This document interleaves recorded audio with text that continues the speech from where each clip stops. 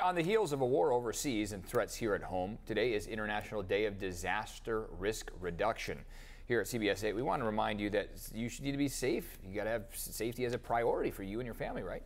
Here in California, we have experienced floods, earthquakes, wildfires, and in these situations, knowledge is key. Knowledge is power. Joining us live, Naomi Nolte Carroll, spokesperson from the Red Cross, to tell us more on how we can stay safe here. We're talking more natural disasters, but with everything going on overseas, we should just be prepared, really, Naomi, for anything that could happen, right? We've always got to be thinking about how to keep our families safe. Absolutely. So the American Red Cross responds to a disaster here in the U.S. every eight minutes. Um, oh, the most wow. common one is home fires, but we do experience wildfires, storms, flooding, and really, at this point, it's not a question of if it's going to happen, it's a question of when. Yeah, it can happen to anyone, uh, really, right? I mean, you talk about a house fire, and you guys are there, and you guys help out. It's amazing what you guys do, um, taking in displaced people that are at the worst moments of their life, right? Absolutely. So when there is a disaster, we open shelters, we provide vital relief supplies, uh, we help people with the recovery, but we also encourage people in all situations to always be prepared. If there is a disaster in your area, if there is an emergency, being prepared is really key um, to make sure that maybe you can evacuate at a moment's notice or yeah. you have everything you need in your home to shelter in place. That's so true because we talk about how unpredictable some of these things are, but there are some things we can take care of, right? And that's uh, being prepared. Preparedness is key. Um, and that starts here, right? With a, with a duffel bag. I mean, this doesn't take up much room, folks, a duffel bag here. Um, but everything you need, you can pack into here, right? Can you walk us through some of the items that are in here and why we should have these items? Absolutely. So what we say at the Red Cross is there are really three simple steps you can take to be prepared. The first one is to build a kit. Okay. So this Here's is kit. my kit. Um, and there's a number of things that I have in here that I can really pick up at a moment's notice in okay. case I'd have to evacuate. One thing that I really love is this hand cranked radio. Okay. The power might go out, right? Sure. Or we might not have cell reception. A lot of us rely on our mobile devices to get the information that we right. need in case of an emergency.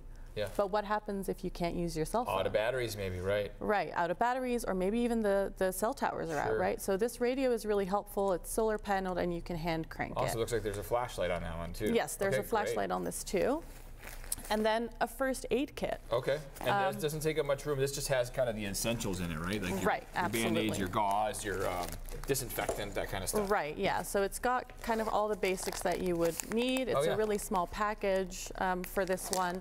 And you know, even taking first aid courses or, or CPR is really sure. important. So well, one of the seen things that recently, CPR is super important, yeah. Right, and one of the things that we sometimes don't remember is that when there's a big emergency, disaster first responders might be delayed, and so knowing first aid and having what you need in your home can yeah. really help bridge that gap until first responders arrive. Seconds uh, save lives, right? Absolutely. Seconds matter. The rest of it's just uh, extra clothes, right? Stuff for the kids, and I mean, we've got to make sure that we are, thinking about the entire family here, right? Right, absolutely. So for myself, I've got a book, I've got some crayons yeah. to keep the kids busy. There you go.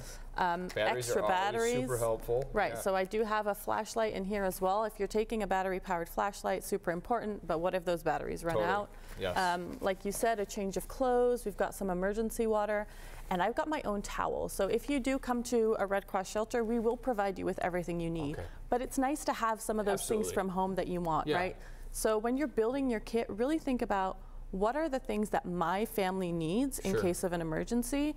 Um, don't forget your pets. If you need to evacuate, so do your pets. Right. So, you know, if you know that there's potentially an emergency that's going to happen in your area, keep them confined to one room Good. so you can pack them up. It's all about risk reduction here. Uh, is there a website that we can send people to, Naomi, if they want more information, how, you know, how they can build these kits?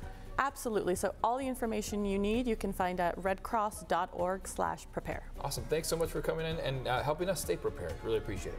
Stay with us, everyone. We're taking a quick break. We'll be right back with your top headlines and your updated forecast here on this Friday.